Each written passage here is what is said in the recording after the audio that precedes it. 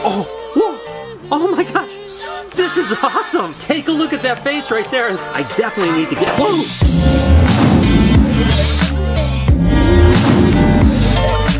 Hey, good morning everybody.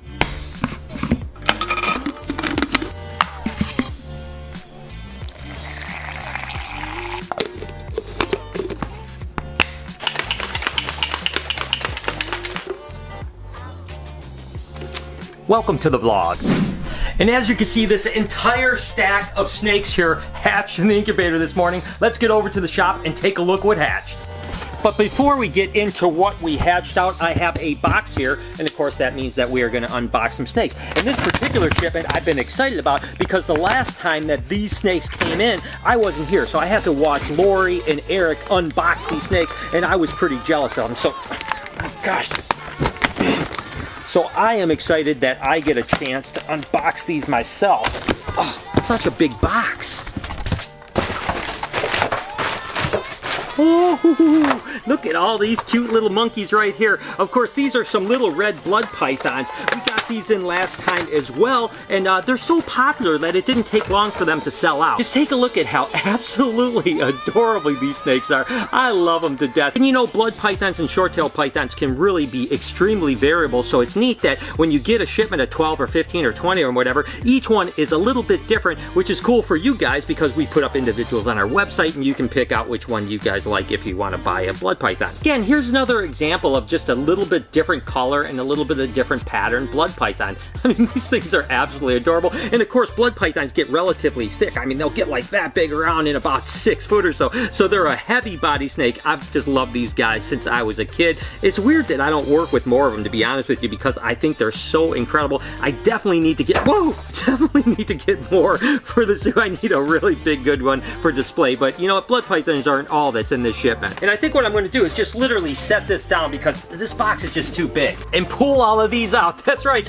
These are all piebald ball pythons. Remember when Eric and Lori unboxed an entire batch of piebalds? And I wasn't here, so now I get a chance to do it. As you guys know, there is no pie that is just alike. Every single pie is completely different, which makes them completely unique and really awesome. Take a look at that one right there. I mean, I tell you what, that is a stunner. Oh my gosh. And I'll be honest with you, it looks like almost every piebald in this entire shipment is a stunner too. Oh my gosh, these things are gorgeous. Look at how high white this one is right here. Oh my gosh, that's amazing. It's just got one little dot on it. Oh, whoa, oh my gosh. This is awesome. Take a look at that face right there. That is an incredible smiley face. Oh my gosh, it even has a nose. Oh, I love that. That one, oh, this one is good. I tell you what, I'm gonna see if it's a male or a female right now. It's a little boy. I think I'm gonna have to hang on to this one. Oh my gosh, so much pied love. Look at how amazing these things are.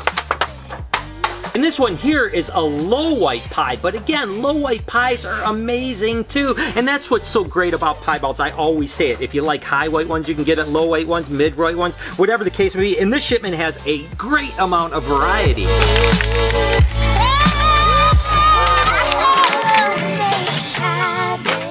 Example, take a look at this one right here. I mean, look at how awesome that is. The front half is almost kind of a really cool pattern, but then the back half is just completely white. Almost like you dip the snake in white paint.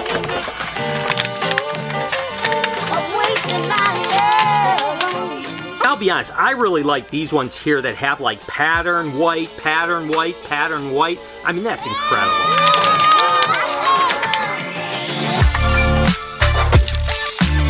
Just look at how the pied really messes up the pattern and color, even in the normal area. And that's one of the things I think that's really cool about pieds. It's not just like it's pattern, then white. It's like the pattern gets all like muddled up and kind of zigzaggedy and stuff like that. And then there's a ton more orange in the normal pattern than a normal ball python.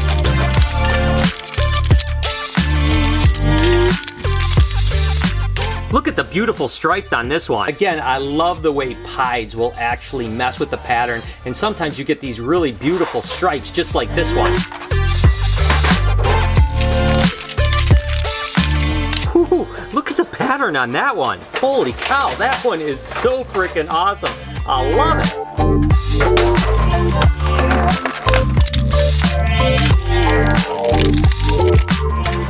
Doggy, look at how much white is on this one. I mean, that one is absolutely stunning. And I always say that the white on the pied is whiter than any of the leucistic ball pythons. It is pure white.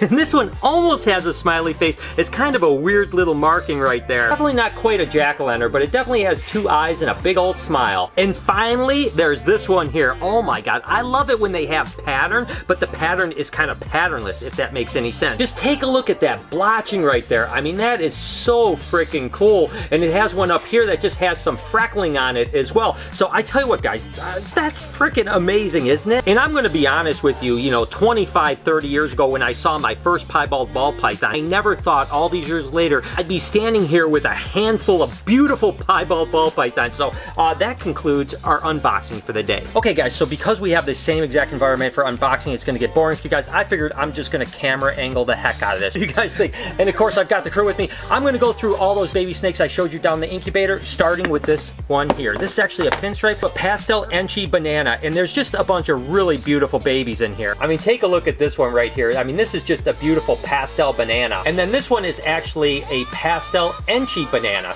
So I'm gonna go ahead and let the crew help me and aid me on this.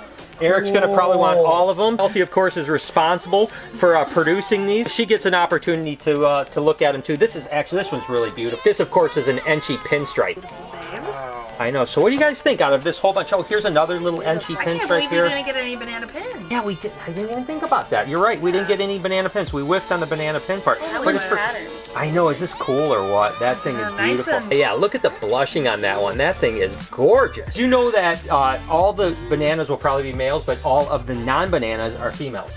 That's so strange. Isn't that crazy? So that's a female, that's a female, that's a female, that's a female. Now I knew that bananas could mostly turn out male. I didn't know that the rest of the clutch would be Yeah, female. isn't it crazy? Yeah, if it's that's not weird. a banana, it's a female. Okay, yeah, okay. Kelsey's gonna check me on this one. See? It's a female. You wanna try? We'll go through every single one of them. Okay. Okay, female, female. Wow. Lastly, female.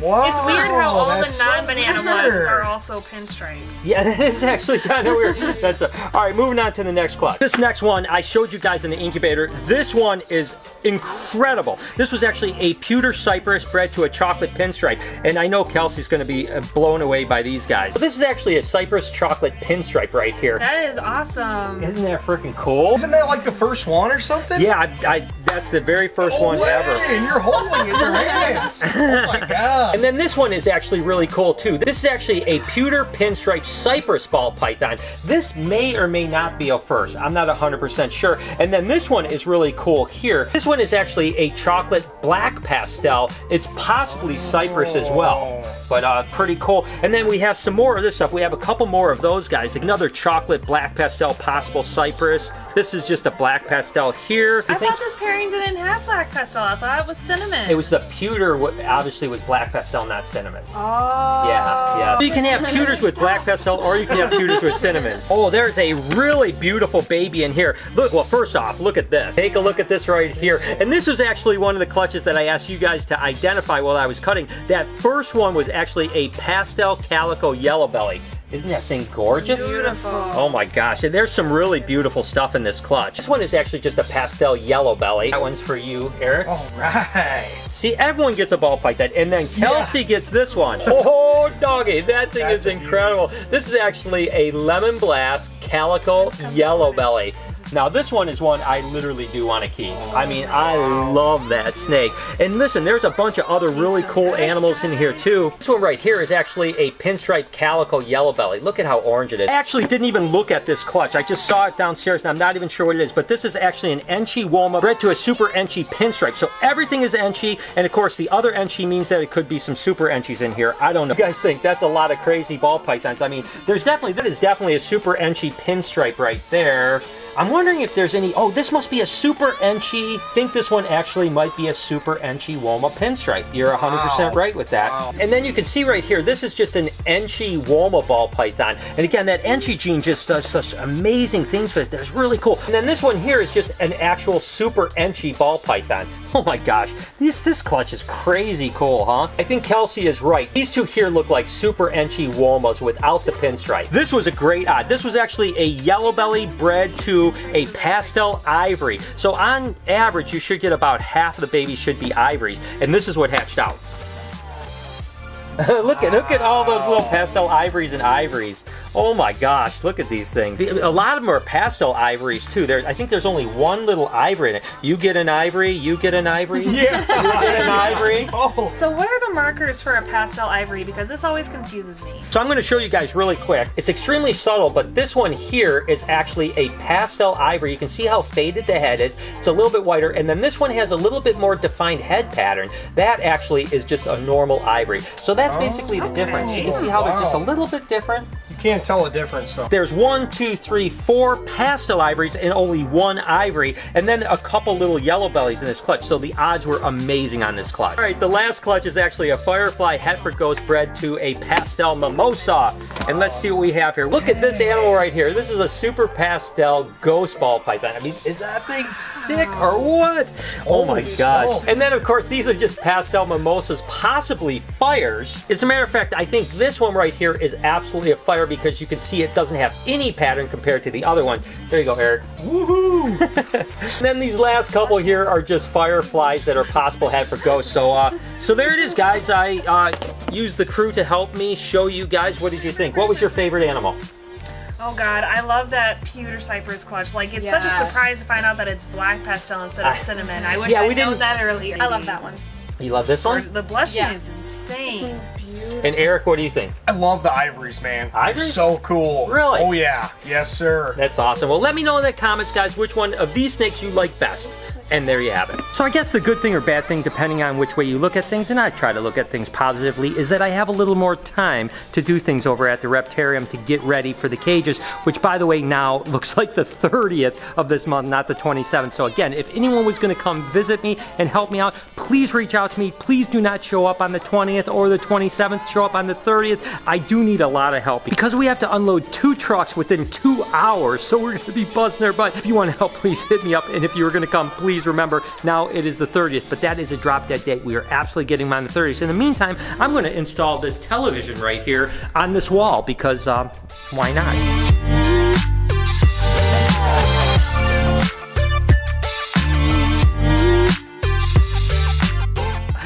there you have it. Uh, TV is up on the wall. I can't wait to be watching really cool movies here. I know Lori said I'll probably be here all night long, never wanting to leave because I'll be watching my favorite show or something like that. Regardless, uh, that wraps this project up over at the Reptarium. Well, with that said, I think I'm going to go ahead and get out of here and spend the rest of this beautiful evening here by my pond in my backyard trying to relax a little bit. It's been a long, I don't know, 13, 14 hour day. Gonna have a lot of those coming up until the Reptarium is done, and then I'm gonna be there probably 12 or 15 hours a day when I'm in town. Regardless, I'm having a great time, and I cannot wait to share the rest of this journey. I do apologize that it's being put off, but I promise we will get there, and I hope that you guys have an absolutely amazing day. Thank you, as always, for joining me. You guys mean the world to me, and I do love you guys so much. Do me a couple favors before I get out of here. Can you smash that like button? Turn the post notifications on so you know when I upload a video, which is every day at 9 o'clock in the morning Eastern Standard Time.